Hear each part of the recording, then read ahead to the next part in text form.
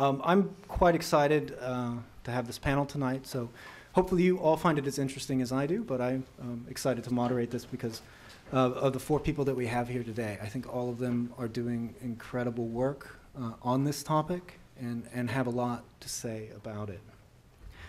Uh, before we start, I do want to thank um, those that have made this possible. Um, that would be uh, the Department of Social, uh, the Social Sciences Department here at the University of Michigan Dearborn. I should introduce myself, as I always forget. My name is Josh Akers. I am an assistant professor in the Social Sciences Department here. Uh, the Urban and Regional Studies Program, uh, Director Laura Roosh is here today, uh, tonight. And then finally, this is the uh, first event uh, that the Detroit School has had on the UM Dearborn campus, and we are excited uh, that they chose to have an event here, or have been willing to coordinate an event here with us, and they would, and that is, so our special thanks to Alexa Eisenberg, Rob Pfaff, and Lydia Wilden. but they also wanted to make an announcement, so Wouldn't be a Detroit School event without a quick plug. Um, so I'm Alexa Eisenberg. Thanks again for being here. We host a series of, of lectures and panels throughout the year. Um, so if this is your first exposure to that, we just invite you to um, check us out on Facebook or visit our website. And you can also email Detroit School at umich.edu to start getting um, emails for all of our events. And then we have an upcoming lecture on December 6th, which is a Thursday, from 4 to 6 p.m. on the Ann Arbor campus. Um, and that's going to be with Brian Doucet from the University of Waterloo, who's going to have, um, we're going to talk about his, his book and sort of his work's relevance to international scholars. So I invite you all to attend and really looking forward to this panel. Thank you. All right. Um, so I'm going to quickly introduce the panelists. I'll let them describe themselves and their work a little bit more. Um, and then I'm going to take a couple of minutes to kind of put this uh, issue in context, I think, through an anecdote and, and hopefully um, drive a bit of the conversation. Uh, so we have Wade Rathke. He's the um, founder of ACORN, the head of ACORN International, uh, and chief organizer for the Home Savers Campaign, which is organizing contract buyers in cities uh, throughout the United States. Christine MacDonald who is a reporter for the Detroit News and has been covering issues of housing for a while. I'm, uh, Allie Gross, uh, the Detroit Free Press, and Eric Seymour, who's a uh, postdoc in the Population Studies Center uh, at Brown, uh, and my colleague and, and co-author on, on quite a bit of work. so the title of the panel today is Post-Crisis Housing Markets and Housing Insecurity. Um, and there's a lot of, I want to kind of lay out broader contours and challenges of these um, low-income housing markets, rising housing insecurity that we see today, and the very real impacts these changes have on families in cities across the U.S., and particularly in Detroit. Um, and I think that's kind of the key focus, or at least where I'd like to keep part of the conversation at is the actual impacts on, on people. So we can run a lot of numbers out here, but um, I think the people here today are about that component. Um, so the anecdote I want to tell you illustrates both the costs of predatory real estate practices on families, the impacts of housing, insecurity, and the challenges of addressing these issues. So a few months ago, uh, a woman I'll call Ms. Gomez uh, came to Detroit Eviction Defense uh, at a Detroit Eviction Defense meeting seeking assistance. Uh, she did put down a $2,000 deposit on a rental house in southwest Detroit. Um, at the time, she was desperate to find housing for her family, which included her daughter, her daughter's boyfriend, and, their and her five grandchildren.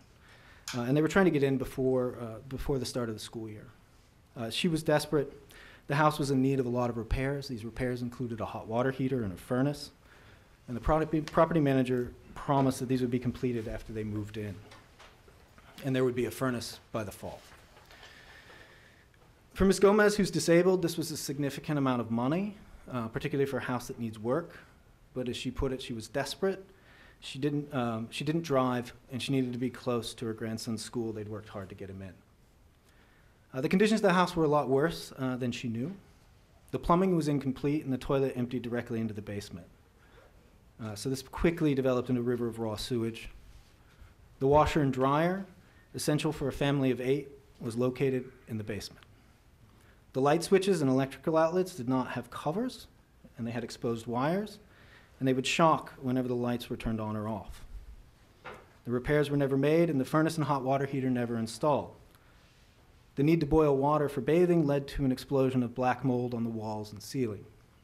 The property manager provided space heaters when the weather turned cold. The second night, the Gomez family awoke to the alarm of a carbon monoxide sensor. The space heaters intended to keep them warm would have killed them without the alarm. The property now, manager now claims she's a squatter and he's threatening eviction. They also claim they'd called Child Protective Services and the agents were looking for her.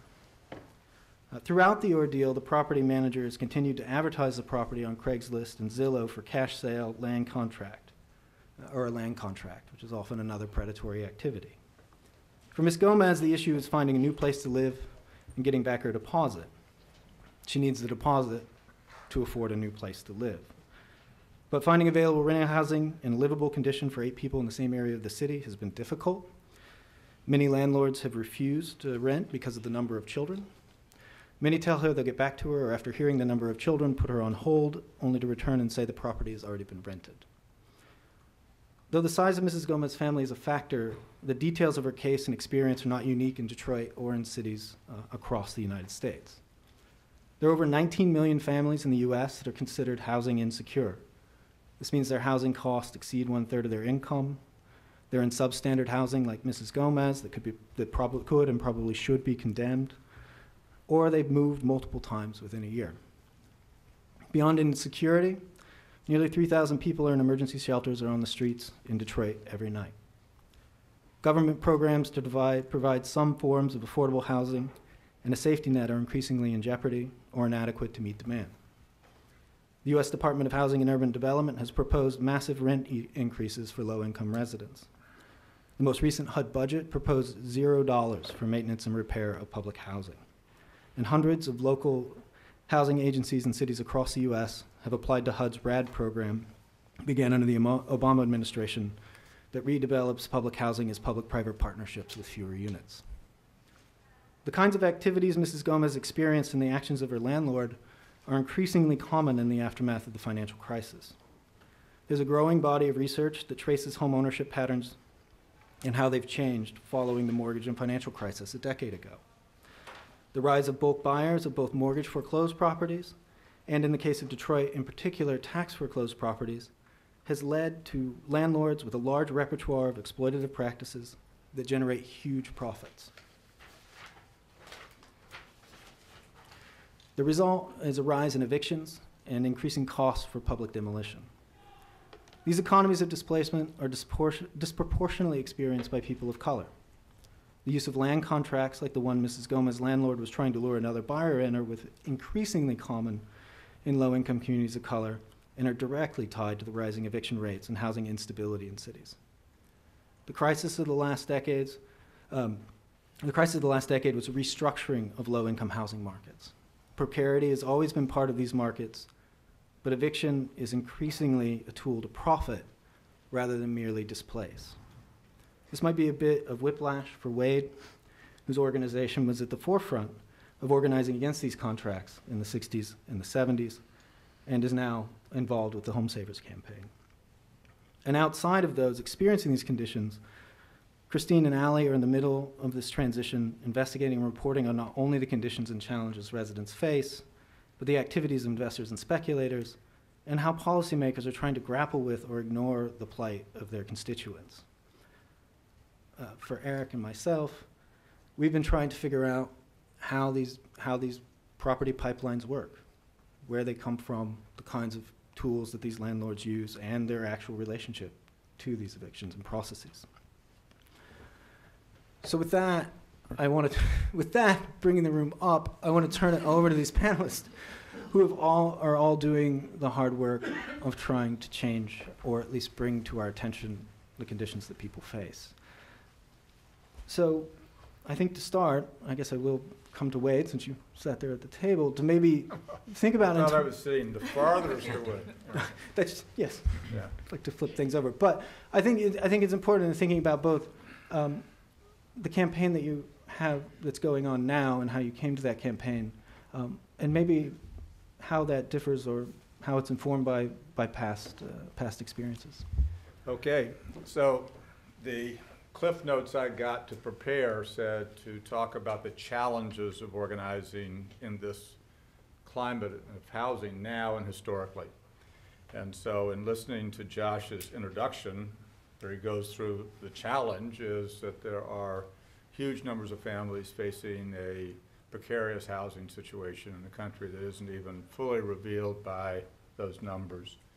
Um, we all know there was a meltdown in housing in 2007, 2000, it began in 2007 and certainly it reached, uh, you know, attention in 2008. Uh, millions of homes were foreclosed.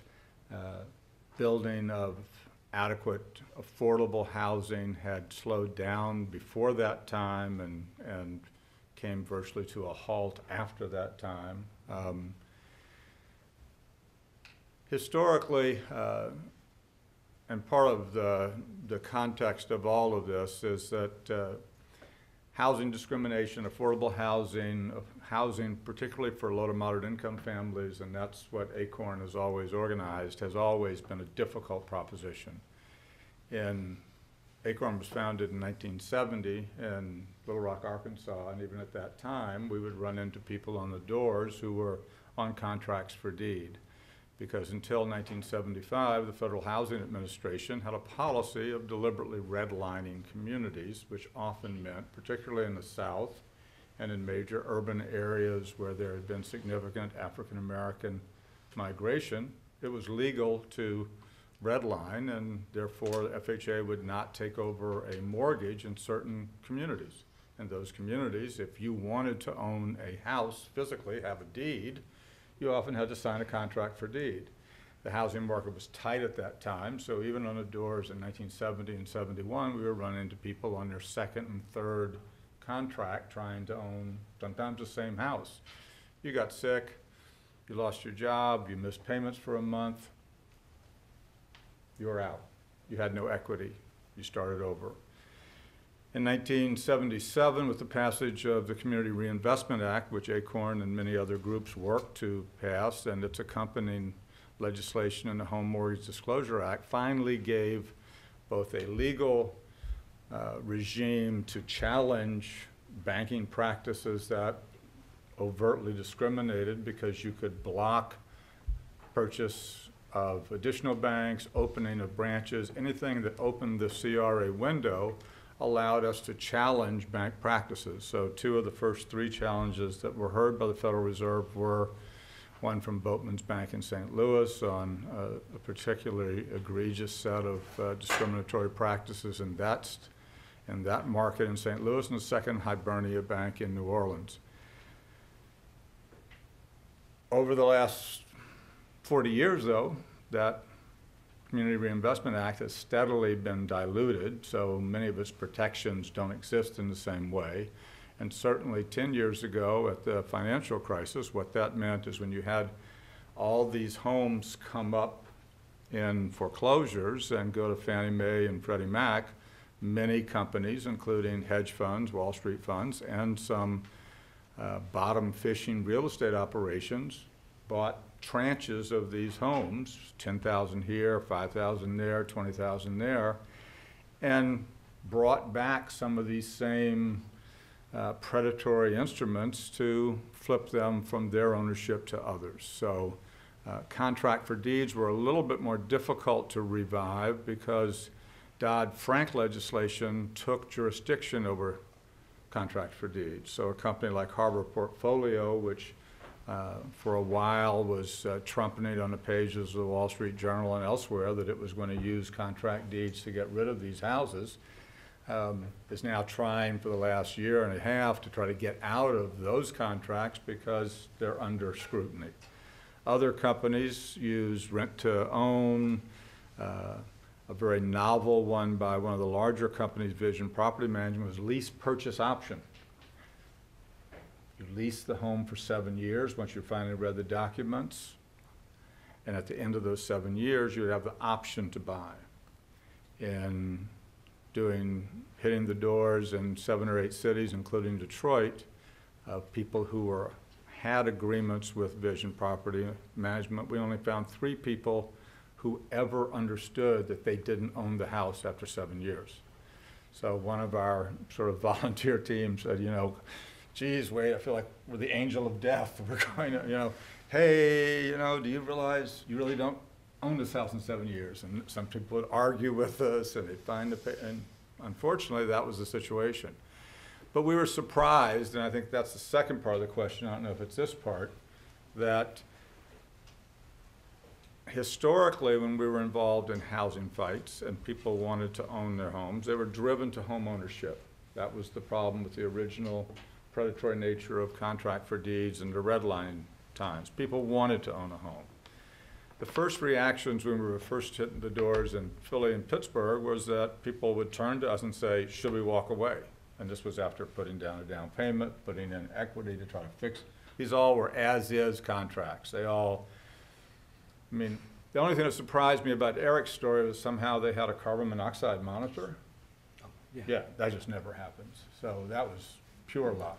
Pure luck, Um, So most of these houses, some of them didn't have plumbing, some of them were stripped, no wiring, but you took them over for that contract. What we found increasingly is that people thought, well, maybe we'll own the house, but they were really being driven in. We did a survey of uh, almost 100 families, and it turned out that inordinately, people were in these houses either because of family size, as Eric has mentioned, or just desperation. They'd been evicted, um, they had to have some place to go. These housing models routinely, as a matter of, of marketing, price the rent to own or lease purchase at ten to twenty percent lower than market rent. So if you're desperate for money, and market rent is eight hundred dollars, and they're only charging six fifty, and you only have five hundred, well, six fifty looks like a good deal, and you sign the agreement, and, okay, well, you know. So we were finding that this was just part of the, the bleeding hard edge of the housing crisis for rental, affordable, decent rental properties, and it happened to be used in foreclosure situations for ownership. And that's part of what drove us in this campaign. Back to you. No, yeah, I mean, based on that, I mean, even from what you're Just saying, Debbie Downer, uh, you know, with the Yeah, happy I'm- news just keeps coming. it's my job. Bring the room That's down. all of our Can I jobs. make a- I wanted to jump to Small you, too. point on that, Yeah. I think, you know, you talk about the desperation, and yes, you do see that, but there, I did see, you know, in reporting, maybe not so currently, but that idea that people want still to own their own home. It's that American dream, so I don't wanna rent anymore, I wanna, and everyone's buying at the tax sale, so I wanna, I wanna get in on this, and so then they're just totally overwhelmed, they, they, you know, unprepared to read those documents, and then, but that motivation, you know, to, to own their own home still is the. We just didn't find it in more than fifteen percent of the cases. Really, okay, Yeah. that they Yeah, some people, articulated that? yeah, some people okay. did articulate that as the first reason, but in many cases, it was the horrors of daily life. more, Right, You know, yeah. sort of pushing that more to the bottom. It'd Yeah, be think- nice, it'd be nice if they, you know, you know, Yeah. it's more like, hey, Well, I oh, think you know, that'd be good. In good. Detroit, we had, you know, the biggest tax sale in the nation that went on, you know, that's gone on for years here. And I think that is the, you know, the um, uh, motivator for a lot of people. I don't want to rent anymore, you know, I want to try to get in on this and then, or do, do through a third party because it is still very hard to, to uh, buy directly for regular Joe. You know, you're doing it online, you've got to make a deposit. Can't remember how much it is, but it's fifteen hundred. Fifteen hundred, yeah, and you have to navigate that system and, and know where to go, so it's really designed, you know, it's just a list, an Excel file, um, of properties, so it's really designed for those savvy investors who can map those out, you know, and have data and be able to, you know, where that, where the ones we wanna get, you know, and, um, but not a regular Joe, it's gonna be very difficult, you know, for them. You, you see a lot of folks, and I know Allie's seen it probably too, but at Register Deeds, they have a public terminal down at, uh, Greektown. That's where you, you know, the Register of Deeds and the treasurer is, and that's where a lot of people, you find just folks searching the ownership history on those public terminals and trying to figure out, you know, but it, so, Yeah. And of course, you can't have any bad tax liabilities or water bills or anything else, or you're not qualified to participate in the land Participate- bank. Well, allegedly. I mean, I don't know. I mean, that's, the That's the signs are rule. all over the, Right, yeah. that's the rule, but uh, the staff, I mean, his, the- of the treasurer's office has pretty much acknowledged that they don't do that. You know, you can't have blight fines and, and owe back taxes on other properties. But I think, you know, we haven't tested it lately, but I don't think that they're enforcing that, Is that right? um, for the most part. I mean, they don't have this, really the staff, uh, I mean, that's their argument, to, to investigate every bidder. And, you know, these people form LLCs and, um, they did that. yeah, so. Eric, do you, Eric or Allie, either one of you, do, it would, I I think it would be helpful if one of, if somebody would step back and kind of explain these different foreclosure process, processes or purchase processes, just for the, for the audience, like, what's mortgage foreclosure, what's the tax foreclosure, what are we talking about when we talk about a land contract? And then we can, do you wanna? Sure. Um, so, uh, yeah, I'm a postdoc at Brown, but I did my PhD in urban planning at the University of Michigan, working with Margie Dewar. And um, my research began with the mortgage foreclosure crisis in Detroit and looking at what happened with all the properties that were repossessed by Fannie Mae, Freddie Mac, or um, these large lenders that had been responsible for issuing subprime loans through the early 2000s. And so between 2005 and 2013, there were uh, roughly 70,000 completed mortgage foreclosures in the city of Detroit alone. Uh, something approaching 99% of those properties were repossessed, not sold at auction to another home buyer. These are properties that were taken into these institutional inventories. These properties are referred to as real estate owned or REO in the bank industry parlance. And what I was looking at were the practices of these different uh, foreclosed property owning institutions for selling or discharging those properties. And I was finding that uh, Fannie Mae in particular was bundling homes and selling them to these private equity backed um, sort of opaque operators, Harbor Portfolio Solutions being one that's gotten a lot of attention, one of the um, largest contract for deed operators, both in Detroit but in other um, industrial Midwestern cities and parts of the Southeast. Um, so the mortgage foreclosure process was an important pipeline for later speculative property investment. A few years past that, I would say, starting more in 2009, we saw the, the sharp spike in tax foreclosures in the city, right? And so these are properties are being repossessed because of delinquent property taxes. There was uh, Public Act 123 that was instituted in 1999. So from 2002 on, properties could be repossessed and auctioned after three years of delinquency. And um, that became another important pipeline. So we had um, more local or regional operators purchasing out of the tax foreclosure pipeline, people who knew how to game the system, right? Maybe buying properties back after allowing them to go through tax foreclosure. But there were some of these national operators, you know, Harbor Por- Portfolio and others, who were using the REO auction system um, to purchase from. And contract for deed is a um, ruthlessly efficient tool for predatory investors to use to make quick money on these properties. So they're buying homes that have often sat vacant because banks and Fannie Mae aren't maintaining them. These properties wouldn't mortgage out. You wouldn't be able to buy the home with a mortgage because it wouldn't serve as collateral to a financial institution. Um, and through contract for deed, you can put all the costs of bringing the property up to code onto your prospective buyer. And then these buyers, so you have people who have been displaced through foreclosure, um, folks with low income, damaged credit, insecure income. And so we have the, you know, this growing supply of these properties in institutional hands, and then this growing demand from this precarious class of, um, of, of households in Detroit. So it kind of created a perfect storm for the, the return of, of contract for deed. I think you outlined a lot of the essential features of the contract for deed, right? The as-is condition is um, particularly problematic. You know, if these homes are uh, have holes in the roofs, don't lack mechanical, so they're uninhabitable for the people who are there. So if you have, you know, families in these homes, it's it's dangerous, unhealthy for the, the inhabitants. But it's really difficult to actually bring those properties up to code in four months, and there's a clawback where the uh, contract seller can repossess the property in four months if they're not brought back up to code. So whatever money you put into the property in the time, of, you know, out of your own pocket on top of the down payment is gone because you don't build equity in the process of paying your installment payments to the, the contract buyer. Um, And there are other types of exploited mechanisms that are sort of in the vein, right, that lease with option plan as well. And then similarly, you have people who are buying and then uh, renting out these properties, but they're not paying property taxes. So these are, you know, what have been called milker type investors by, I think Alan Mallach is the person people often uh, reference when talking about these different classes of investors who operate in distressed housing markets. And so you're renting a property and then you can have it, you know, you can be removed from it. You don't even know that the property is going through tax foreclosure until somebody comes to the door to take control of that property, perhaps offer you a chance to remain as a renter, maybe to an increased price or perhaps to push you out. So that's kind of the, the, the arc of my research is, you know, beginning with, um, you know, a lot of folks have done work on the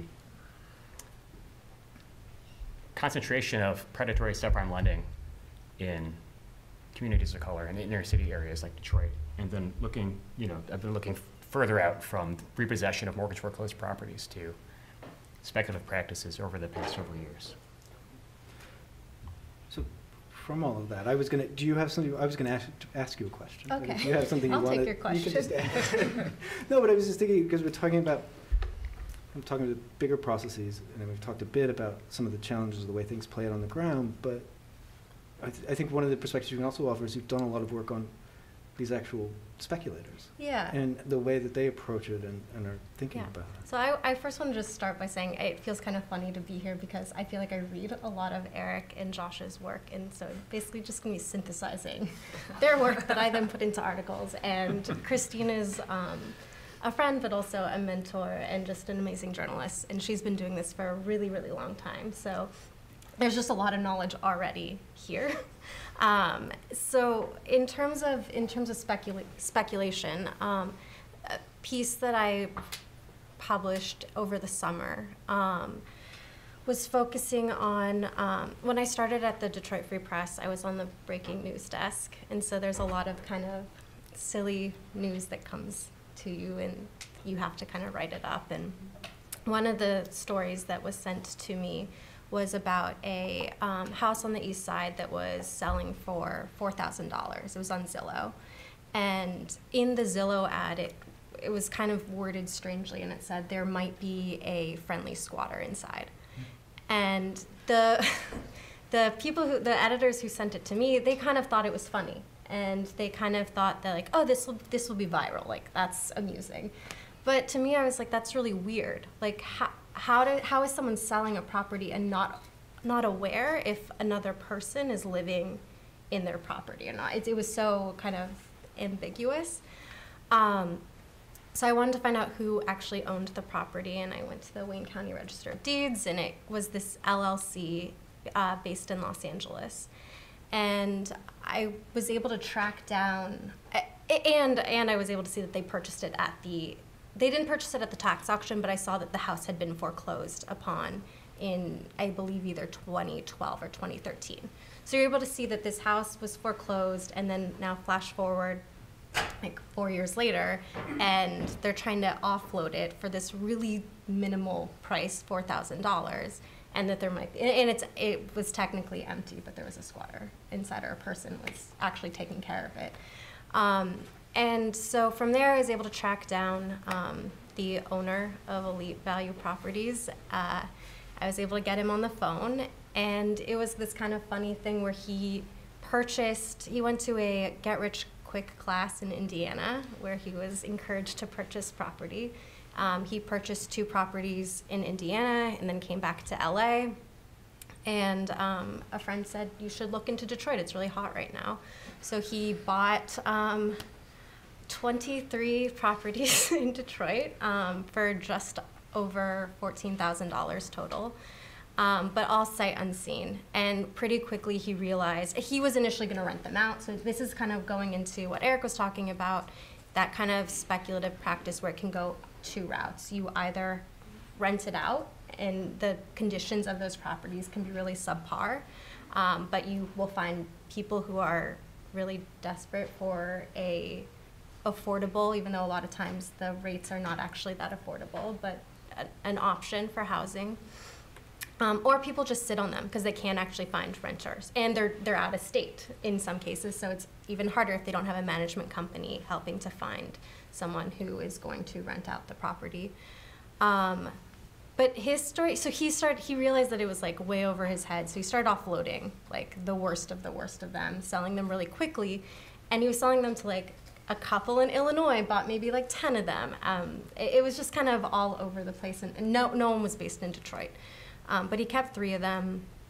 At the time, I was going to do a story on just this who is this squatter and who's the person living there and what's the story here. Um, but when I kept going back to this house repeatedly, um, the person who was taking care of the house essentially, he wouldn't talk to me. I left notes and it just, he, I couldn't get him to talk. Um, so I was like, well, I have this list of 23 other properties that this guy owned. Maybe there's a story at one of the other houses. And then as I started, as I started driving to each of these properties, um, I would look them up on Google Images beforehand, see what it would look like once I got there. And by and large, I started to notice that they were all empty. Um, they were blighted. Um, one of them had been demolished, which cost the city um, or the Detroit Land Bank um, $20,000 to demolish, so way over the price that it, the initial uh, owed taxes that led to the foreclosure. Um, and so ultimately, I looked at the 23 properties, and of looking at Google Images, it appeared 78% were occupied um, in 2011 and 12. So right before, uh, 20 of them were foreclosed in 20, 2012, three in 2013. Um, and then when I went to them, 78% were in some distressed state where there was not someone actually living inside of them. Um, so I think that that kind of points to a lot of the work that everyone on here has talked about and has been focusing on as well, which is that um, the people actually, a lot of people buying properties once they go to tax foreclosure are not necessarily um, future homeowners uh, who are going to take care and live in these spaces. And a big part of Public Act 123 that started the auction was about this idea of reactivating abandoned space and also recouping funds. And the other part of that was 60% of those properties that I looked at, um, the speculator, they weren't paying property taxes either. Um, and I think in your, either in an interview or in your paper, I don't remember which one, but um, Josh explained it and possibly Eric if it's in the paper. But it was explained really well where it's kind of this musical chairs, um, where, because properties are foreclosed after three years of unpaid taxes. And so for a speculator, if you're buying it at auction, it could be a really cheap price. You don't pay taxes, and then, you know, two years from now, if you can't find a renter, just sell it to someone else and hope that you can ideally profit in some sort of way by, by selling it, by bundling a bunch of the distressed properties together. Um, so I, I think that that would be my response. I mean, that does fit in with something that surprised us that we found out on the ground is that, you know, 45, 50 years ago, you got evicted immediately if you didn't pay. And we kept being surprised that people were defaulting on the terms of whatever the agreement were, and they were still there. Two months, three months, six months, a year. And gradually, we came to understand that because these speculators, or whatever the name of the company might be, um, didn't believe that there was a market for someone else and were afraid to evict the people because A, it would cost them, and then B, it might end up with even more destruction. I mean, that they were essentially using, they, these weren't so much squatters as caretakers, Right. but they were continuing to live there and make the improvements, and then it, it turned out that that gave us some leverage, because we could sometimes negotiate to keep them there if they were willing just to start payments again, um, of any kind, because the, the owners were, none of them were located here, they were all running internet and phone operations, whether it was Harbor or Vision, or I could name, you know, a half dozen other companies. Um, Let me, let me just add one other point, and it's just, you know, I just happen, we fought in this city, if we talk about the Detroit context, we fought Coleman Young forever trying to get a homestead program here, a dollar a year program. We won it in Philly and a number of other cities, and they just, you know, it took us forever to win this, and by the time we won it, it was almost ineffective. I happen to be in Madison, Wisconsin. The Acorn Archives are kept at the Wisconsin Historical Society, and um, I was there for another reason and went by because they just put files and boxes together for another 35 boxes. And so I just happened by, you know, chance to pick a box that had some part of the Michigan Acorn story. And I read a 2005 document, which was uh, between Acorn and the city of Detroit. And at that point, they said there were 30,000 houses in, in the Detroit inventory. Now there are what, 80, 90,000? Nobody's really totally sure. I mean, you may know, but I don't know anymore.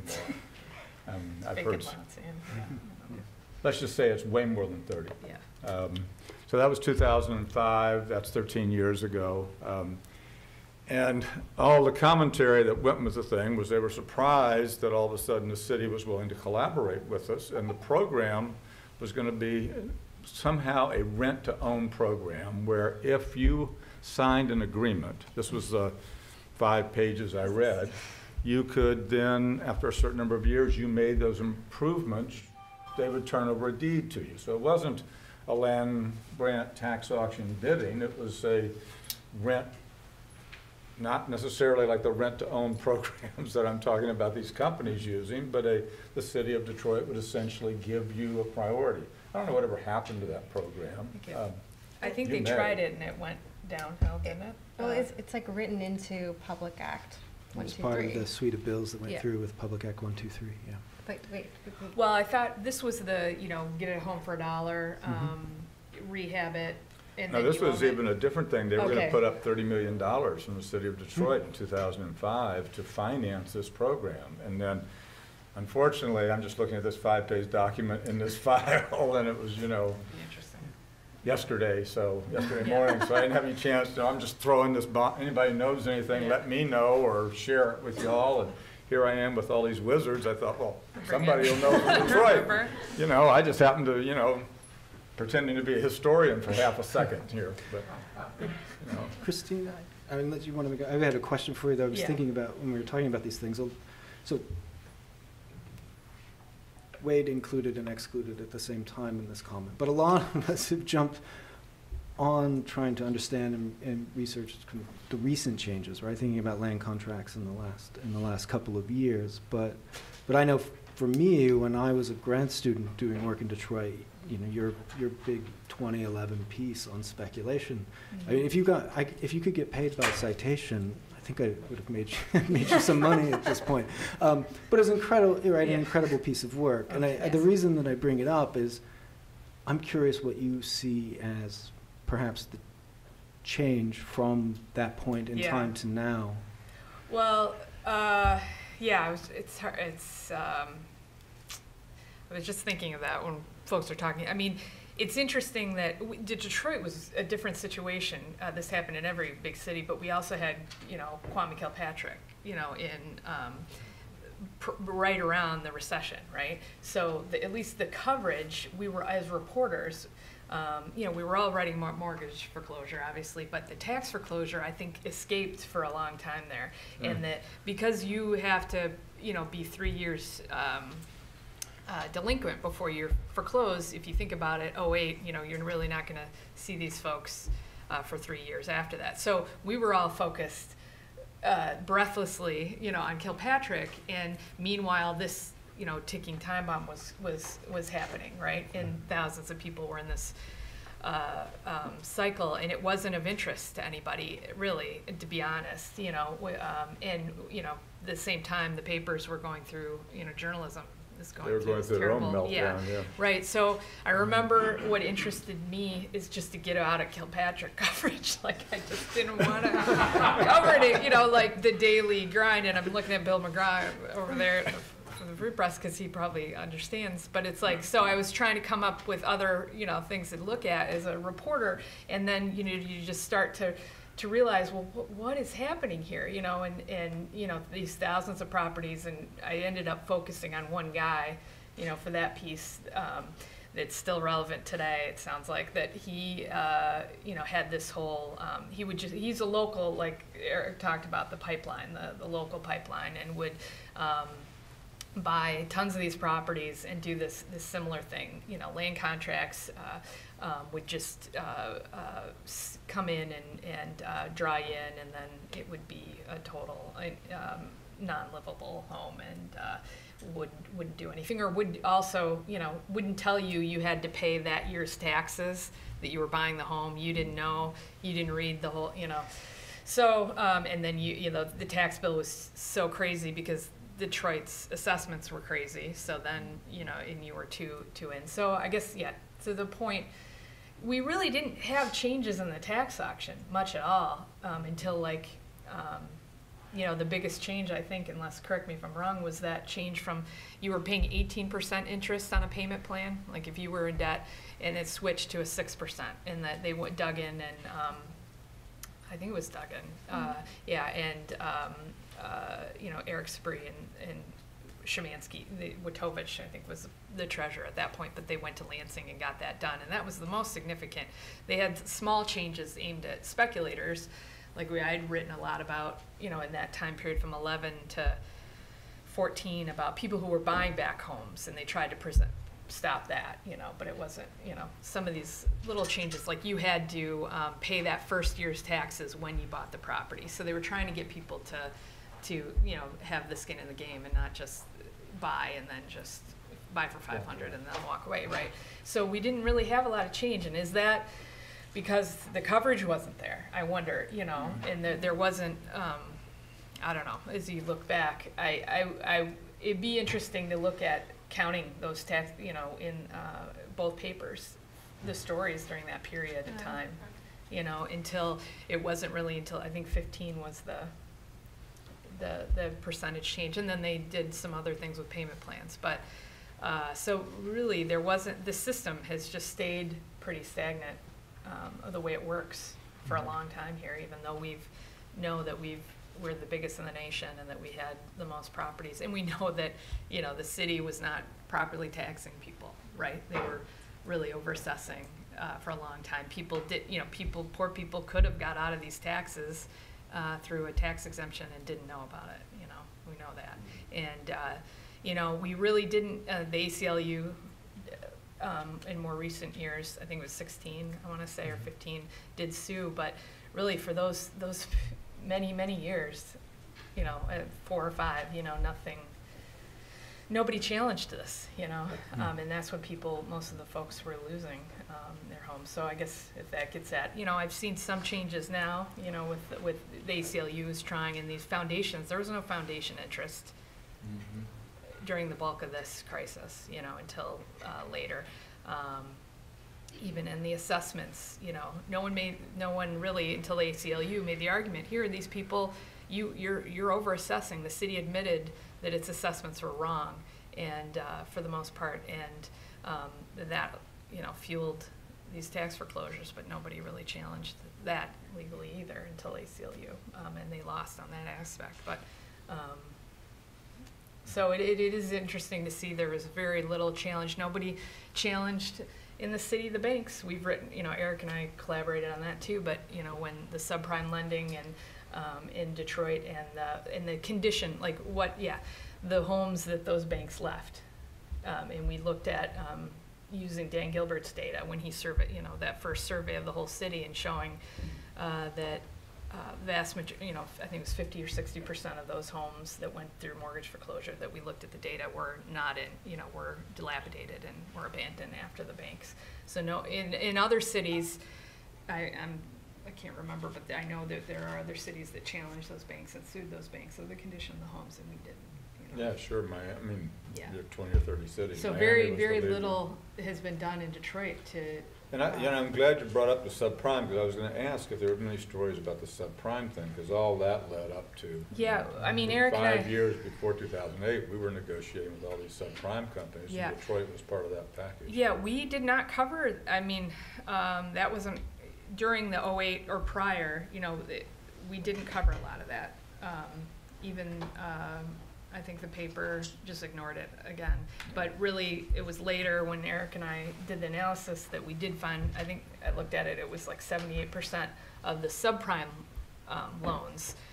Seventy-eight percent of those homes were now dilapidated or needed to be demoed or had already been demoed. So, um, you know, it was a, it was, our story, it was kind of like a, I don't know what you would call it, um, after the fact, you know, Right. analysis, which, you know, sucks because there's nothing really you can do at that point. But, I mean, it, uh, but yeah, it, it definitely devastated those, those homes clearly, you know, were, were, um, uh, went downhill after, Sure. but I don't know. Because when we used to negotiate around them making changes in these uh, predatory agreements, I mean, we used to use the figure that to maintain a vacant house, you know, for a bank and for any of the subprime companies, whether it was home finance, which is bought by HSBC, or, you know, the CitiMortgage, whatever. You know, the use, the average cost to maintain was about fifty thousand a year for a while, because you had to pay to, pay the taxes, you had to pay the insurance, and you had to do the, and what, what was so different, particularly after two thousand eight, is they just stopped paying any of the maintenance at all. Yeah. So not only did they, in some cases, not foreclose, because they were running shadow banks, I mean, they were ghost banks, I think was the proper term, because they had no interest in writing down the mortgages to real value in the market, which would have allowed people to stay in the homes or purchase the homes. It was in their interest to let these homes then pretend to be worth X amount, go vacant, because it was on their balance sheet that they were at that price they'd made the loan. And then they stopped doing maintenance, and then the banks, I'm sort of riled up about this issue, but I'm riled up about a lot of issues, but you know, I'm just trying to be, you know, behave in the panel, but, uh, so, for some reason, the Obama administration then said, okay, who's gonna supervise all this? Y'all know the answer? Banks. So the banks who had no interest to do anything whatsoever, and, you know, in 2010, we put together a program in Phoenix and a couple of other cities that were very high on these foreclosures to try to renegotiate, and it was, you know, a disaster, because you were doing actions on the banks, the banks had no interest in moving, and they didn't. And so, here we go. And now they're so profitable. I mean, look- Right. Look who was smart.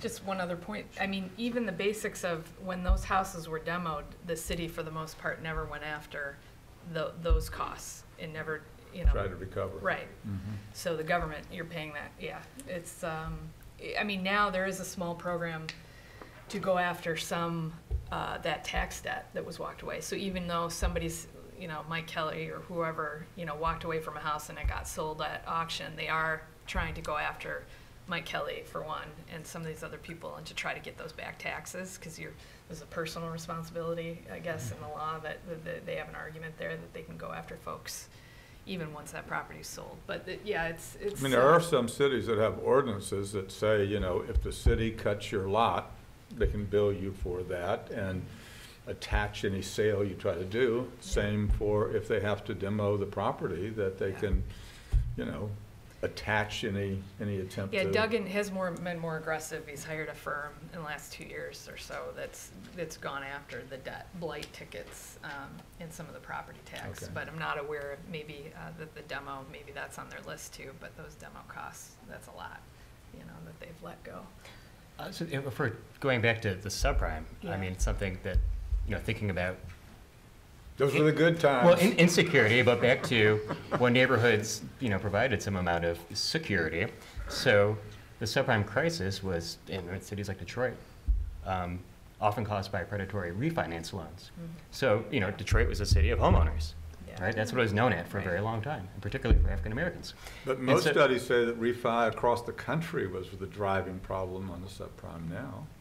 Yes, but what I'm saying is you had people who owned their homes, right? Yeah. These, they might not have had a lot of cash, but they owned their home. And so they were, you know, for all intents and purposes, living that American dream until federal deregulation and the entrance of these predatory private lenders came in Yeah.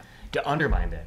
Right. And so I think, you know, I- that's a point I try to push, maybe not I for just folks here who clear know that this. the- The predatory lenders were Wells Fargo, Bank of America, Citigroup. I mean, we're not talking about Deutsche, yeah. Joe Blow with a little sign in some neighborhood. We're talking about the major money center banks that are still the major money center banks that Right. were, Who used um, sophisticated data analysis to target these neighborhoods with those particular toxic products. yeah, and, and not only those banks, but Goldman Sachs. I mean, in 2005, 6, and 7, there's hardly a hedge fund in New York that we didn't end up, and I was in those negotiations as well as the one, I mean, you know, some of the worst days of my life were in Orange County where you deal with four of them in a row, you know, you'd get in there that morning and try to fly out of John Wayne that night, and you would have met with four different predatory companies were almost all owned by New York or financed by, you know, and they just all got away with it. And you wonder, okay, so now we're doing mop-up, um, stories that we can't keep up with. I mean, I don't care if it's ProPublica or any, or any local, you know, group trying to do it. I mean, it's all after the fact and it doesn't drive policy because we don't have boots on the ground that are trying to push this issue at this point. So I think, I mean, turning on that boots on, on the ground component, I, I mean, I think it would be interesting, so talking about banks and the finance and these different forces and the way they've, um, are operating, but I guess what, um, how do these things affect both, like neighborhood stability? So thinking about, like what Eric was talking about at one point, right? You have homeowners, they may not have a lot of money, but it's a stable neighborhood. And, and what kind of challenges does it present, prevent, or present for, for families in Detroit? What, what are they, what are they facing in that? Um, I so I recently did a piece about this new newish program um, that is a partnership between the city and United Community Housing Coalition to purchase um, 500 occupied homes. So using the right of first refusal to purchase occupied foreclosed homes that were slated for auction and kind of divert them so that the occupants could buy the homes. And it's obviously a really happy, um, positive initiative. It's hard to find critics of it, but um, something that came up a lot as I was working on it was the fact that um, it's estimated 50,000 occupied homes went to auction over the past, and it's probably more than that over the past two decades. And so, uh, as I was reporting it, and it didn't end up being in the piece, I met with a, family who did lose their home in 2014, and they they were renters, and their landlord hadn't been paying taxes, and so they ended up um, getting kicked out of their home. And they, they moved around a lot. And one of the things that stood out to me when i was interviewing uh, the 20 year old daughter who dropped out of school she couldn't even remember what year she had dropped out but she had bounced around just from so many schools and that to me was such i don't it doesn't it, it's something that we realize but it doesn't come up. Obviously detroit has school choice and we talk a lot about um, how that affects kind of stability for students when you're bouncing from school to school, um, but kind of to understand how actually housing, which seems like an obvious, but how how, how housing um, plays into kind of the education system as well, and how that's going to um, exacerbate the instability caused in, in the school system. That to me was super, I think, something I would like to look into more in the future because that um, it felt really it felt really devastating because um, yeah just No, There- she, yeah. yeah, yeah I don't it's it's really hard to catch up and stay ahead when you are constantly going from school to school but Yeah. that's one anecdote Right.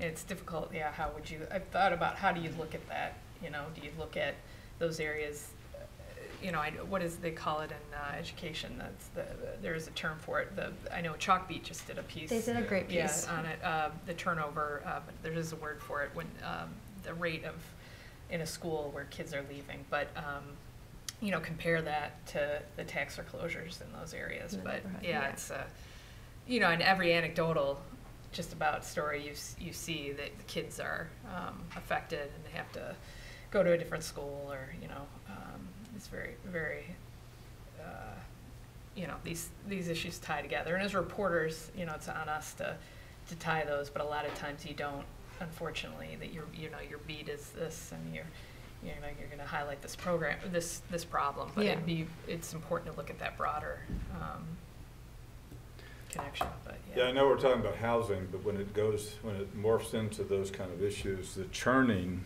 particularly in, in s- almost all the states where testing is part of the evaluative system now, if you are a principal in a school and can get rid of that per, that child who's not doing well before the end of the semester, you still get the money, mm-hmm. Yeah. but don't have to count them on the testing. So there's a, an internal pressure within the school system now to push people out in the same way you have housing and other circumstances, you know. It's, uh, you know, it's just not easy not having money these days. I don't know if this is, you know, come to you, but I mean, there's this unequal thing going on between the rich and all the rest of us, and uh, there's hardly any issue we could talk about where you can't just sort of get fired up. I mean, it's, uh, um, just a comment, just a side Yeah. editorial comment. Shocked, shocked. Yeah. that you're I But don't- there is I a don't work for a challenge- newspaper, so I have to pretend to be objective or a university. It's just like, ah, you know. I hear, hear from our members every day, it's just one, you know, horror story after another. I know this isn't about journalism necessarily, but just to, to you know, it's hard to write these stories every year, and and f- like I, you know, I would write from a, you know that 2011 on and on, and I would my editors were, you, are you done with this yet? You know what? You know that actually doesn't that sound like this story? You'd pitch a story, don't you? Doesn't that sound like what you did two years ago, or you know what I'm saying? It's like, and we were in the midst of it, like 15, and I would get this from editors, and so it was very, it's you just start to doubt yourself you know, I guess I should be writing about something else. And and there is a fatigue, Detroit fatigue in the greater community, like the readers, uh, you know, poor Detroit again. Do we, you know, I need to read this story. So you try to find new ways. So I would focus in my coverage a lot about uh, the the quote unquote bad guy, you know, uh, the, the person doing this and how the system worked to try to, to, to make it a little different, not, not so much uh, the poor, you know, the poor family again. Uh, but, you know, to get folks interested, like how, you know, I did a story about, we talked about people not paying taxes, but that were landlords that were collecting Section 8 money for the government. So the government's giving you money to house a poor person, and then they're not paying taxes, and they would buy their own homes back at the auction because nobody else wanted it. So you'd literally have people who never paid, you know, paid taxes, these landlords, and they would get, um, you know, 600, 700 a month, even more. So a lot of steady stream of income, eh, but it's a way for them to, you know, to, to save that money. So you try to tell the story uh, you know, find those other ways to, to, to tell the story. But I think, yeah, it, um, that's what I struggle with because people are immune. A lot of people are immune, and you know, and um, is that why we haven't gotten a lot of change in terms of uh, reform? You know, they're they're talking about potentially now going on a uh, retroactive poverty tax exemption, which kind would could be significant. So if, if you apply, um, but you only have that year to apply but a lot of people uh, are in foreclosure and they could have could have got out of those previous year's taxes. So they're thinking um, there's a guy uh, that's going to pursue it in Lansing back three years, but we'll see if um, you know that that Lansing may not want to do that because that could open up the rest of the state, you know, or potentially, but they want to just isolate it for Detroit. So, but yeah, there there has not been a lot of um, reforms that have gotten through or change to this. Yeah.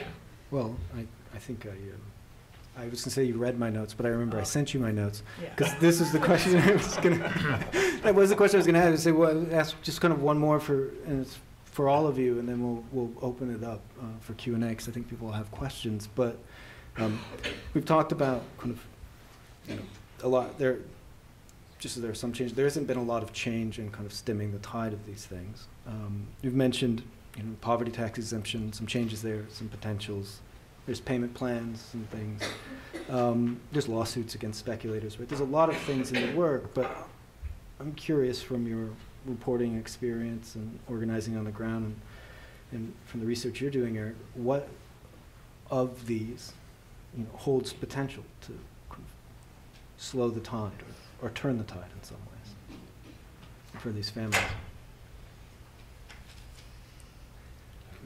I don't know. I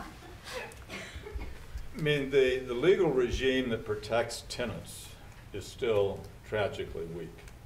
And, you know, part of that is based on, I mean, we can talk about all the, you know, sort of bottom fishers in the real estate industry, but as long as, you know, campaign contributions, real estate companies are always, I mean, I don't know all the details of everything in terms of, of Detroit and Michigan about that, but in markets throughout the country, you always find real estate interest in developers among the highest group of people and contractors in terms of campaign contributions. So all those things mitigate against things like rent controls, anti-gentrification measures, and real protections. I mean, at one point, we thought, okay, here's what'll really solve this problem around home savers, is requiring a certificate, you know, what used to be called a warrant of habitability before you could do a transaction, before the company ever got it. And we saw something in Toledo, Ohio. Well, that looked like a model. Maybe that would work. And then we found out that they even had a better one written in Detroit, but no inspectors.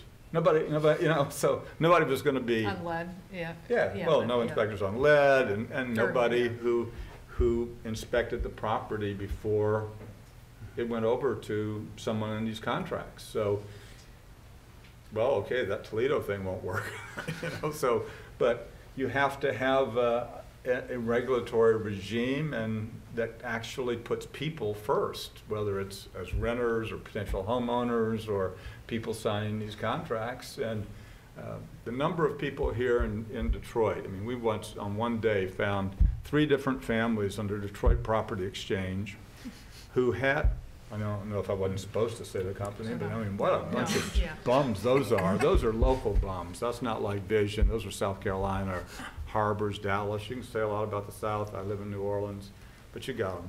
You got them right here, River City. Um, So in each of those cases, they had not done a contract for deed, these homeowners. They were paying, they were on time in their mortgage payments through a mortgage broker. Aside, mortgage brokers are among the worst criminals that drove the 2008 meltdown and have walked away without, uh, never in human mind. Uh, No licensing requirements still on a national level, nobody went to jail, whatever. Um, that was an aside, back, back, you know, trying to walk the line here. And all of a sudden, they got a notice from that Detroit Property Exchange called them and said, we now own your house. And they said, what are you talking about? I'm paying the mortgage. They didn't know their mortgage broker was not paying their taxes. They didn't know in some cases, in one case, that their mortgage broker had declared bankruptcy and was just still collecting their payments. So they then found that if they wanted to stay in that house, now I know from the reporters that they were probably being classified as squatters temporarily. If they wanted to stay in that house, they could sign a new contract and start all over with DPX. And you said to them, well, you know, what keeps you from grabbing a gun and putting on a ski mask, which is you know, not exactly what I say, but it's pretty close to what I say. And, and, you know, well, you know, they did do some things, so they would, you know, if I gave them all my tax refund, they would count that as double against the money. Well, not, this is, these are women that are paying for their house a second time. And, you know, basically, well, you know, I now, you know, in five or six years, they paid for it the second time with all these sort of double and triple deals. Because all DPX had paid to get the house was just the back taxes. So they paid a couple of grand back taxes. So they could make these sort of, you know, okay, two for one deal on your taxes. I'll give you credit for three thousand dollars. You give me fifteen hundred. And so you were able to get back the money. And meanwhile, they made, you know, two or three hundred thousand dollars, two or two hundred percent profit or Yeah. whatever. Not bad. Never had to do a thing, no repairs, no, no mm-hmm. paperwork. Thanks to, you know, and no notice to that potential owner who had paperwork on it from anybody at the tax office or city of Detroit that that was in arrears. But DPX knew. Seems like there might be something to that if I were looking into it, but I'm just organizing, so. Uh, you know, the one point you, the city is now, um, well, no, um, it's, it's trying to inspect all rentals, at least. Uh, they're going the zip code by zip code. You know, we did a piece that they, you know, looked at evictions with Eric and the, the city responded and acknowledged that it was just, it was just, um, on demand. If you were, uh, for many, many years, if you were a renter and you were in a substandard and you called and complained, they would generally, not always, send somebody out. But, um, so now everybody, they're trying to, to, to, uh, get everybody registered, but that is causing, you know, issues as well. I mean, some people think that that's gonna force these, or the landlords will end up Okay. ditching them quicker because they don't wanna go through, or more will do land contracts because potentially they don't have to get the city to, you know, sign off and that you're in a decent, um, house, so it is, uh. So after you're inspected, are you required to repair? Yes, yeah, you're required to abate the lead, you know, you're required to do these things, but a lot of them, you know, And is there will a further slow. inspection to see Yeah. if that happens? Yeah, allegedly, you know, they've hired a lot of third-party companies to do this, these, this Oh. work, yeah. Yep, so Oh, we're, Wow. they've only gotten And to, to see this one going yeah, down, right. the first okay. couple, um, So much zip for codes. optimism, Yeah, you know. it's still in a, I, but part of But that this is. is the good news, this is the Yeah, good this news. is the They're good news, and part of it is that the, the people can now, uh, there, you, you could escrow your rent before, but this is more formal now in the, uh, city ordinance that you're able to, to not be evicted, uh, if they don't have a certificate of compliance, and that you can escrow actually with the city. So there's, you know, um, a couple dozen, the last time I checked, it probably is more than that, but that, you know, that are escrowing their rent. I heard it was about fifty. at fifty, okay. Yep, so we'll see, you know, they've only gotten to these first couple of zip codes in this first year, but, um, you know, that is potentially has, a could have a huge impact, but there could be a negative, you know, so it's, it's hard, it's a tough, tough one. Um, So, Eric, there are fifty that are in escrow, Uh, this is what I heard from, so that could be a, a huge organizing problem. We could probably Yeah. fairly quickly get thousands in escrow and really create a crisis here, so I'm gonna have to leave. Right. It looks like I've got a, you know, job to do. Um, Right, But anybody wants to help, see me after, Yeah. you know, after the meeting, but yeah, okay, I didn't realize that, because Yeah. that's a handle. yeah.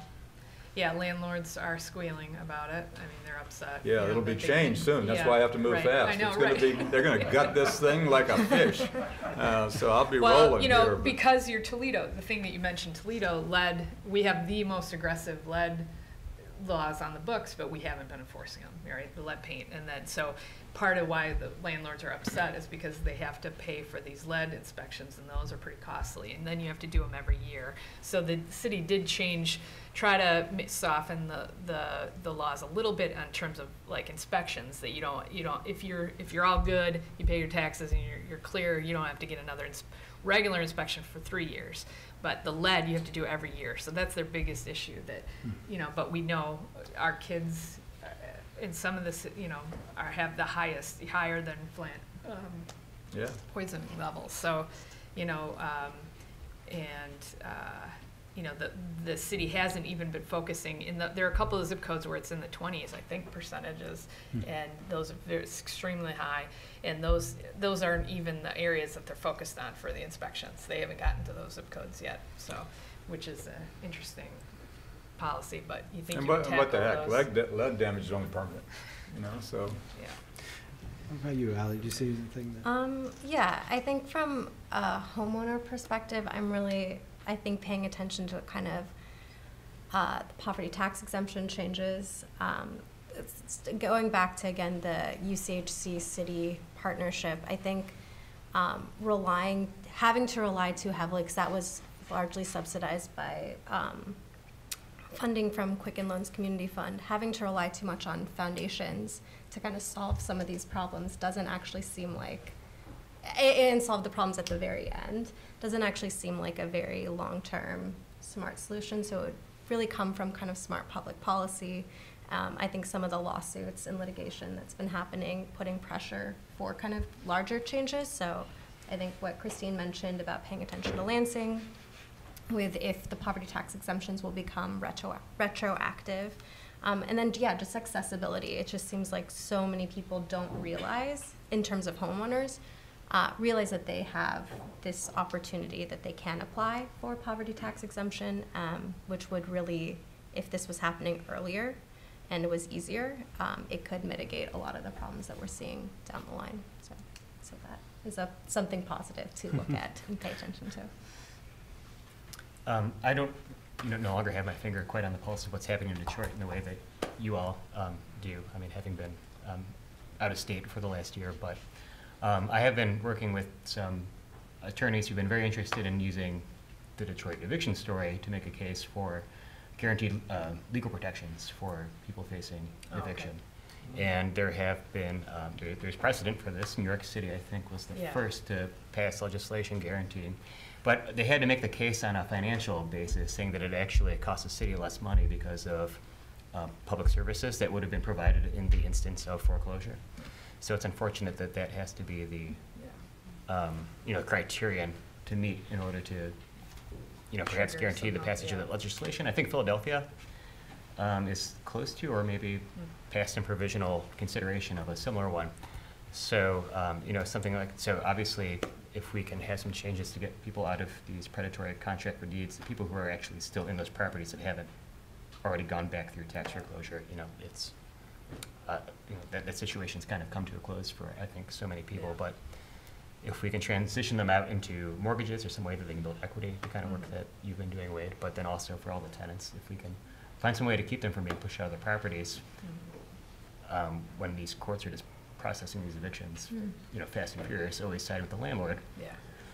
with these, the- these information asymmetries, so that would be a, a positive Yeah. step. Excellent. Thank you. Um, You know, looking around the room, we, uh, so we have a number of people with uh, expertise up here, but uh, we, we might match it or exceed it uh, in the room as well. Um, So we're going to go ahead and open it up uh, for Q and A. Anybody has questions?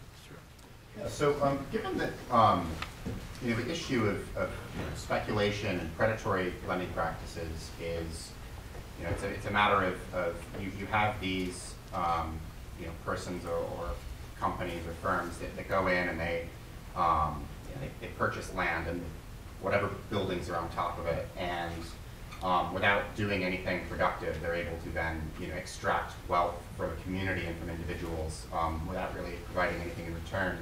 Um, you know, I wonder if, if, you know, that, there, there's been a lot of discussion of these, um, you know, regulatory changes around the margins, but, um, given that the, there's this structural issue that's connected to the very way that we conceive of land ownership and taxation in the first place, um, and that, you know, part of the reason why there's so much precariousness, um, and why housing is unaffordable in the first place is because of, uh, insufficient, you know, housing supply. Um, you know if anybody, any person or organization in Detroit or the Detroit area is pushing for land value tax, um, you know, to, um, recapture the economic rent associated with land locations, um, to, you know, encourage the development of more housing supply and to take away the economic bargaining power, um, you know, from these speculators and landlords and banks, um, and return it to, you know, the, the people. Um, you know, is, is there any, like, serious consideration of land value tax in Detroit?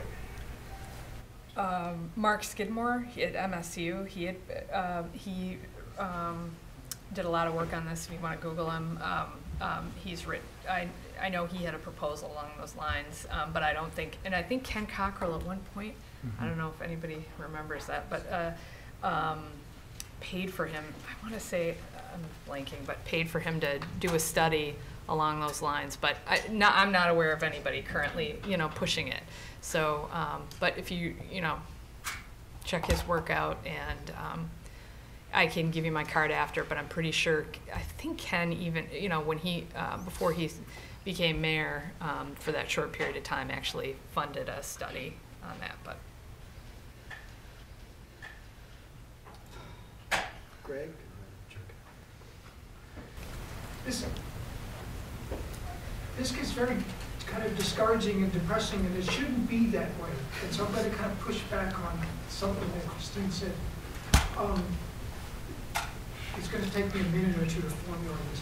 As, as you've talked about, and as I think most of us in the room here know, there, there are two big engines behind this monstrous foreclosure crisis, uh, or foreclosure event that's rolled out um, in Detroit. Uh, The first was with the mortgage foreclosures, and then more recently, it's now with uh, tax foreclosures.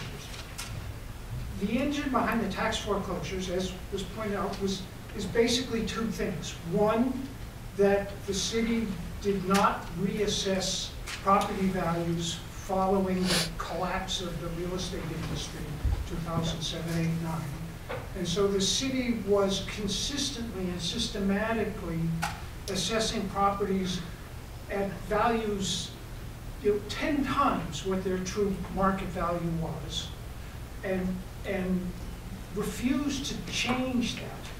In no, in no small part because they weren't able to, partly because they didn't have the money to reassess it, or the assessors to do it, and partly because they knew that if they actually did set those property values at the actual market values, that, you know, that would just further jeopardize the precarious financial situation of the city.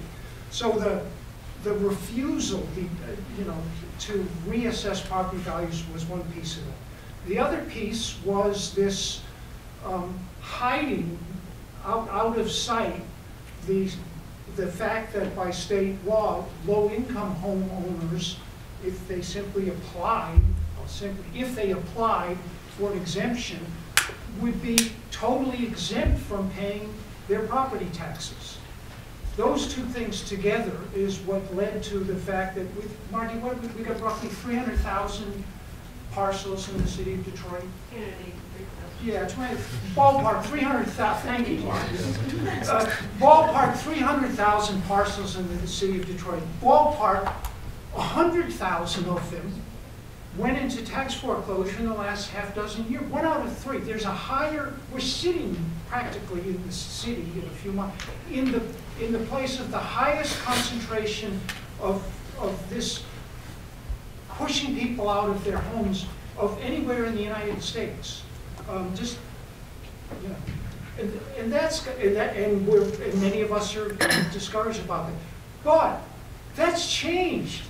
Okay, we were going from uh, 10,000 or so, you know, many thousands of occupied houses are going on the tax auction every year, to now, this time, it's, it's measured in the hundreds, not in the thousands.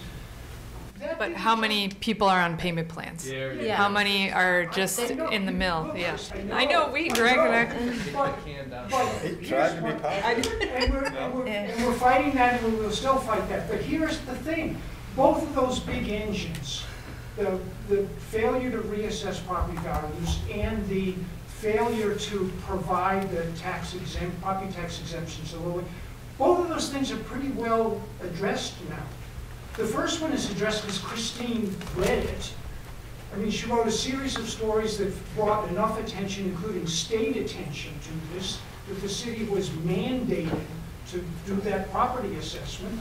And the assessed values went down um, pretty substantially, not always perfectly, but that's, you know, there's a lot of progress got made on that. The other piece is the, is the um, low-income property tax exemption thing that the city was hiding and slow walking and in some cases just flat out, you know, um, refusing to grant the exemptions to people who had done everything they were supposed to do. That's pretty well killed now. And that didn't happen by accident, it happened because a lot of people pushed on it. Good people, good reporters who did good reporting brought that to public attention. Good attorneys investigated this, good scholars did scholarly research Yeah. that actually had some, you know, practical value to it. Uh, Marty's done a lot, Mark Skidmore has done a lot, others have done a lot to, to provide, uh, Bernadette uh, Tuahene did the research to show that, you know, many other people did that. And then organizers in the neighborhoods did this as well. We've been meeting with Mr. Donwell and, and the folks in the assessor's office for years. We have monthly meetings now with the Department of Neighborhoods. Um, uh, Alexa knows this. Um, and so it, you know, there is, it's the, the, is the fight done? Of course it's not done. Have we made some progress? Absolutely, we've made a lot of progress, and I, and I would really hate if that kind of progress got lost here in the shuffle somehow. We are killing this thing. It's not dead yet, but we're working on it. And I think that we should acknowledge that as well as acknowledge the immensity of the injustice that's gone on here. So I just wanted to get that out. Thank you. Does anybody want to? I, th- no, I agree. I mean, you, th- but this has all been recent, you know, uh, in the last, Two- No, and it, well, and it has all been this. no, I mean, but because a lot of people lost. Yeah. Yeah, and, and, and there was total inaction for those years, even though the problem was written, you know, the plot problem was clear and people knew it. And there's no The government knew it, Yeah. you know, and directly, if I didn't, you know, if we didn't write about it enough, they knew what was going on. So there wasn't a lot of change. So, I don't know. Um, yeah, there's not much else I could say, yeah. Um, Jacob and then Alexis. I was just um, wondering what your guys' thoughts were on um, how local governments contributed to this issue through um, through uh, how they chose to spend their capital that they were given by the federal government, like by hardest hit funds, or um, how they chose to get how, how they choose to give out subsidies to businesses instead as opposed to other things they could do with money. So. Yeah, that was definitely a point of contention uh, for, for several of these years, that the hardest hit funds were primarily, you know, spent on demos and rather than, uh, I mean, some of it was spent, um, um, uh, some of it was allocated, I believe, to, to, I'm, I'm not sure if it was first, um, God, I'm blanking on the, Mark, maybe you can help me, the um, program the folks can apply to, to. Step Forward. Step Forward, yeah, yeah. Um, Got some of that money, but, uh, yeah, I mean, that, oh, yeah. Just explain for a lot of people here may not know what the hardest hit funds are or the program you're about. Yeah, they were federal funds that um, uh, came to urban areas to, um, they were from, God, I'm I mean, it was a big, big settlement. Yeah, big, big, sorry. Yeah. And uh, we, pr- Detroit primarily spent it, obviously, to, to, to get these houses down um, that were a danger and they were effect on neighborhoods and, and dramatically. Because the state required that the money be spent that way, yeah. It, well, they could have, I mean, could have lobbied to. hard to change that, you know, uh, so, um, yeah, but that was the point, again, that folks brought up, uh, particularly activists that felt like it should have been, uh, divided, uh, more, more spent on directly keeping people in their homes, yeah. Well, when was that money allocated? I mean, it was so late after so Yeah. many people had already been taken out of their Their homes. So then yeah. It's too late. you have this money being allocated, and what do we do with it? We're going to demolish the homes that we'd already dispossessed people from. Yeah. But certainly, you know, and not only in Detroit, but in almost every city, the manipulation of community development block grant monies, which are absolutely, you know, by the statute for low to moderate income communities, and how those have been in many cases used to fund, you know, developers' castles in the sky, and, you know, people use zip codes and census tracts where they're, you know, claiming that, you know, what they're doing benefits people because they're in that district and has nothing to do. And there's also no, virtually no accountability after the money is spent in terms of whether or not people got the alleged jobs or the benefits. And that's been going on for years. Um, I think an interesting thing for the piece, again, I feel like I just keep going back to this one piece, but the ROR piece, you know, this, the city has had the ability to use the right of first refusal since the beginning of Public two, three. They haven't. Can you explain?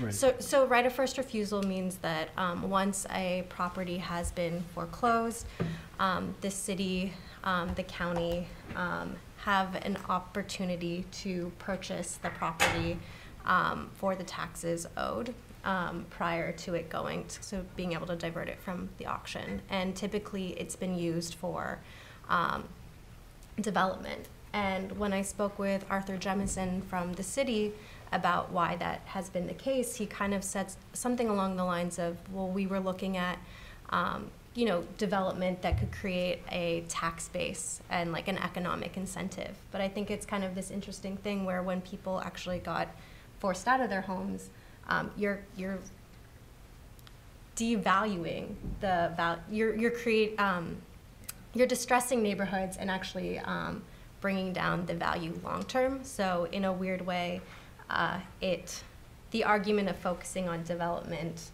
you could easily argue that keeping people in their homes could have the same um, effect. And so utilizing ROR earlier um, to keep people in their homes is, is just as beneficial as maybe a development project, one could Particularly if you give the development project a tax break and they don't have to pay taxes for 10, 20 years, or, you know, Right. 30 years, they can divert to another purpose. or- Yeah, I'll just say one thing, not contradicting your statements, but thinking about kind of how, you know, this post-crisis thing, how these things either get dispersed in ways that either we can't notice or don't immediately see. I the, the ordinance, um, with inspections is one example of that. It's like even our solution is, you know, causing more problems.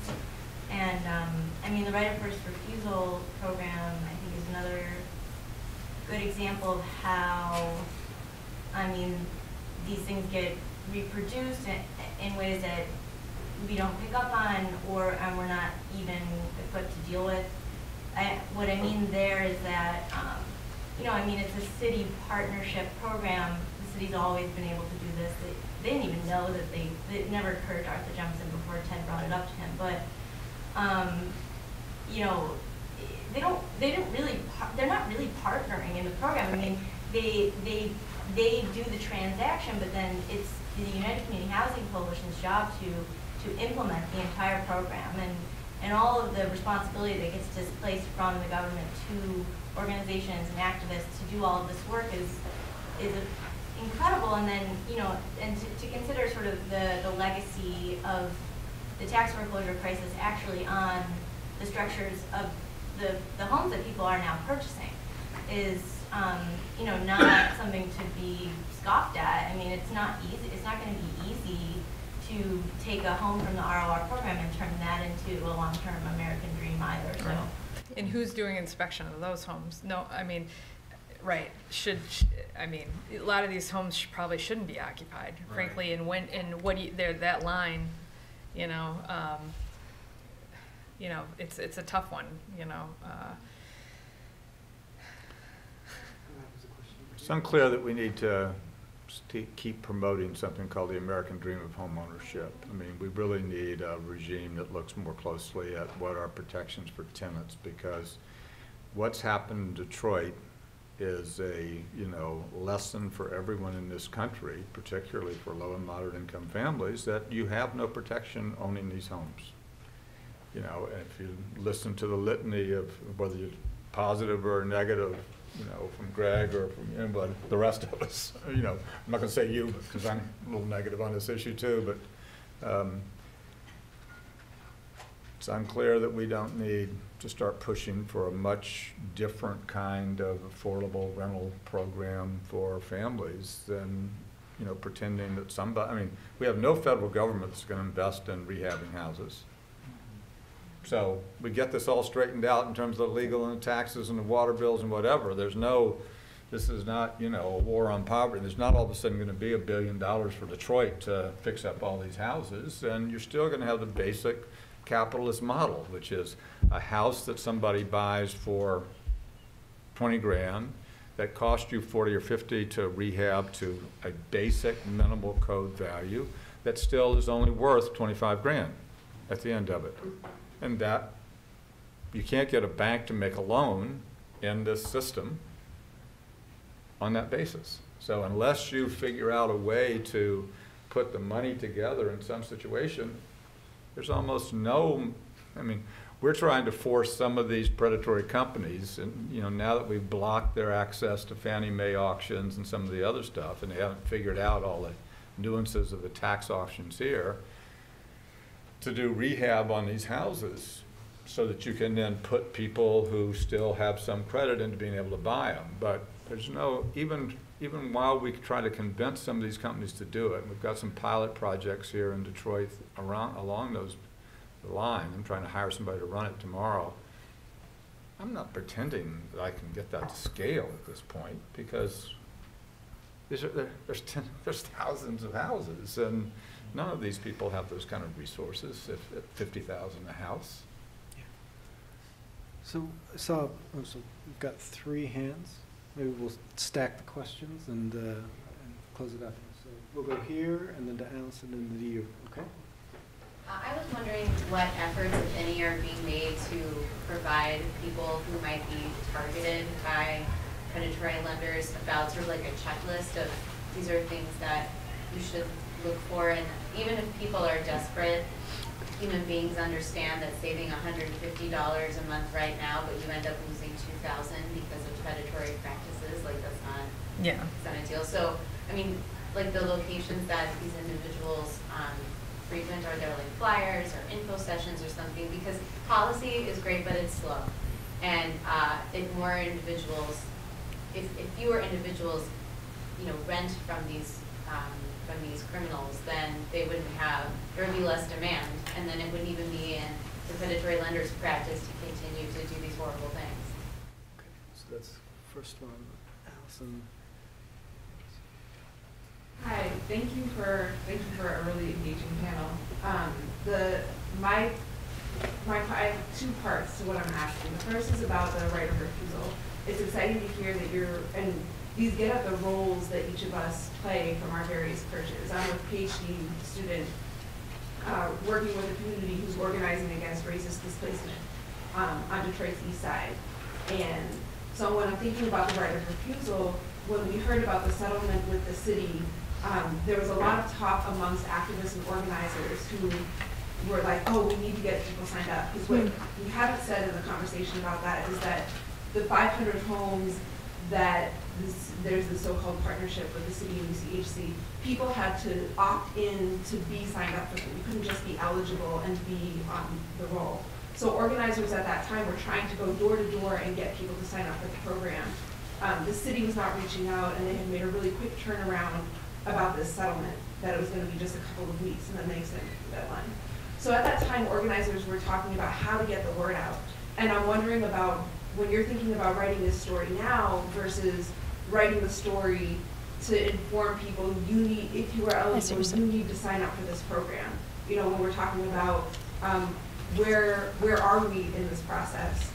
And the other part of the question, which is the same question, is thinking about, um, the, so in my interviews, um, I talked to, uh, government officials, including Arthur Jemison and also developers, and I would ask them, okay, influenced by the work of several of the people on this panel, I would ask them, a decade after the financial crisis and um, housing crisis, what are we doing now to guard against financial speculation and housing speculation? And the government people basically answered, oh, you should talk to somebody at the land bank. And they that's a great question, glad you're really thinking, academics are great. Um, the developers would say, don't worry about that, we're dealing with a fundamentally different issue, it's not really related to the issue that it is now. So it's still the question of what are, what are our roles in this when the policymakers and some of the folks who are pulling the strings on this are saying, that's not really, and I'm thinking about, um, Christine, what you were saying about your editors, who are saying, this isn't really something that we want to keep talking about, but we all know that it's a situation that's dire and getting more dire. And then uh, the third and final question. I also want to say thank you as well. So my question is, do you um, have any feelings about Ford buying the train station in Corktown? And um, what that could mean for the residents that, you know, are already in that area? And then also any advice for any organizations that are in that area, like nonprofit organizations in that area, and what they can do to help those residents um, as they try to figure out their next move with Ford. Okay, so I'll, I'll summarize these three back as best I can, just to refresh, and you can grab which one uh, any of you want. So one, the first question was about an effort on outreach and targeting the the individuals that these kind of predatory contracts or, or people, basically contract dealers, are trying to, to get into houses. So are there any efforts you're aware of there? Um, the second is, what are our roles in this, right? In particular, but thinking about the right of first, the right of first refusal, um, the need to kind of fill in the gap of a lack of um, city or government effort, and then and also an unwillingness to kind of deal with questions of speculation and real estate activity by the city and the land bank. Uh, and then the last one, um, you, the Ford train station in particular, but I think it's a kind of a, a, a, also a deeper question about gentrification, neighborhood change, and what happens to residents when, when major investments come to a neighborhood, and what can nonprofits, community groups do about it. So. You've read Yes, about those were train the three station, questions. so, yeah. I think that's a good summary of the three questions, Josh.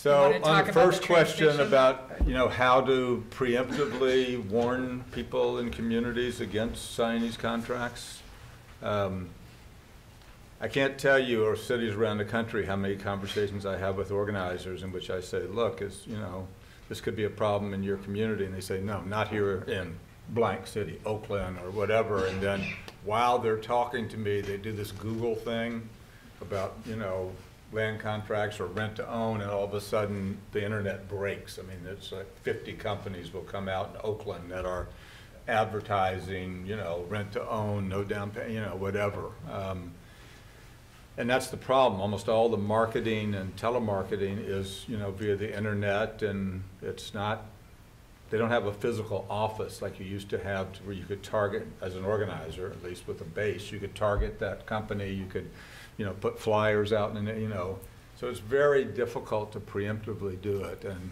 and on the backside, um, trying to determine who's actually on those contracts so that you can go out and visit them, which is what we've done to build this campaign. Uh, and we've had help from Josh and Eric on this, but it's, uh, uh, it's very difficult in some cases to, to do that as well. So your point is excellent, but the solution still is, is evasive.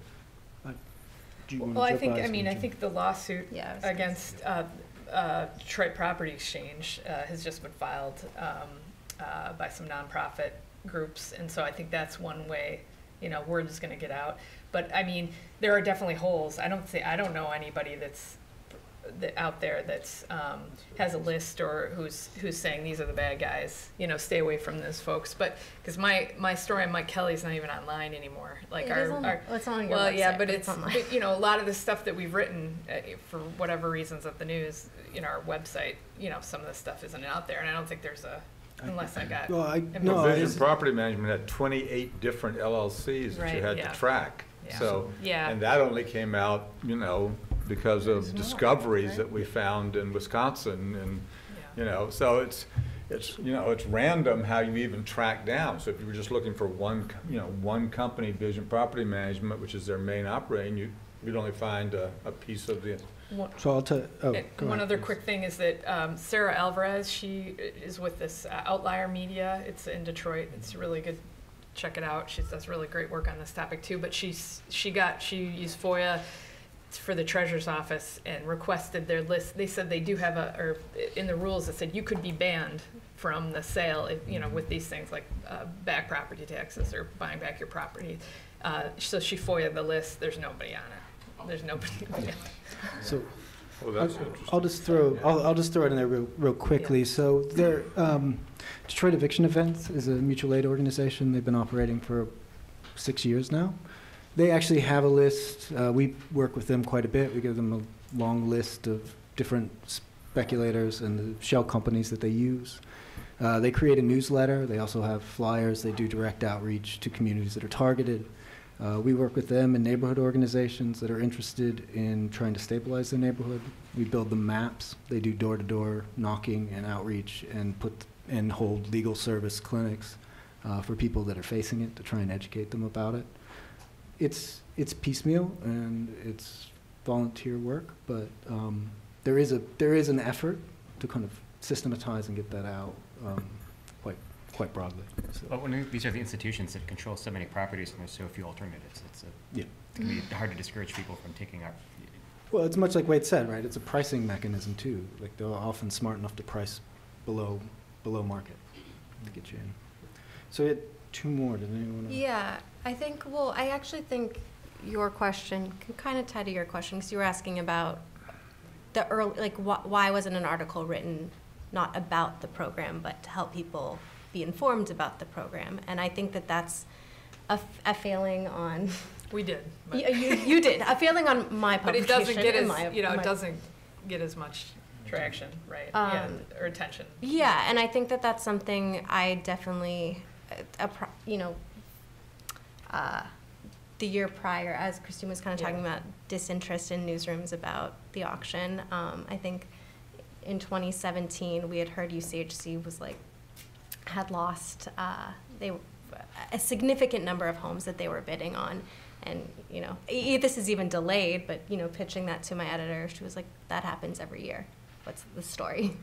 Um, and so it's really disheartening, but I, I do think we can do better, and I think we're starting to try to do better in terms of writing about some of these programs and, and being more kind of um, public service Yeah. journalism so people can so it's not just about the story but also how people can get a poverty tax exemption um, or be if find out if they're qualified or not but it's definitely something i think i i'm aware of as being a definite problem on on the role of the media and we could do better so i appreciate you bringing that up and asking that um, and i think in terms of your question same thing we could probably do a better job of writing about who, even though as we pointed out, there's so many LLCs associated with all these people, it'd be really difficult, but we could do a better job. And so I, I appreciate both of you guys bringing that up, because those are failings on our part, um, on my part. No, I agree.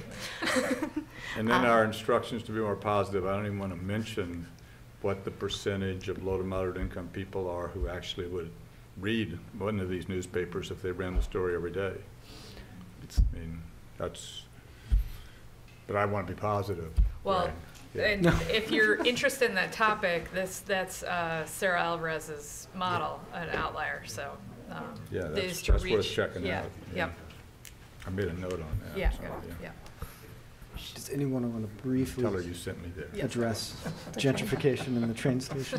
Um, I mean, I have written about the train station. I, I think something that, so not exactly the train station, but I wrote recently about um, a hotel downtown that uh, had given out these eviction notices, giving people 30 days as they were kind of about to um, solidify a sale of the building. Um, and the city really promptly, as soon as that was announced, like mobilized funds. I think it was like $400,000 was allocated to helping the people in this building. And I think a lot of it, there was a lot of um, response that was positive in the sense that this is good.